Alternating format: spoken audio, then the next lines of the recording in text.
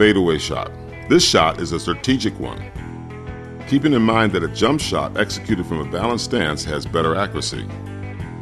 The player might choose to fade away on a jump shot in an attempt to put the ball out of reach of the defender.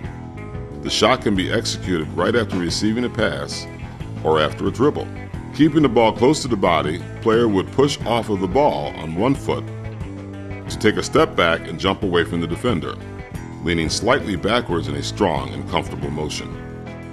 As with any shot facing the basket, the shooter should focus on the rim and not the ball, with the fingers comfortably spread, wrist back, and the elbow pointing at the basket. The head should be centered while extending the shooting hand and fingers and giving the ball a good rotation. Follow through. Shoot with consistency. For the fadeaway, it is also very important to get in contact with the opponent and then do the step back. It is also important to control the jump back since it might happen that you jump too much and then the shot will be short. You must have a control.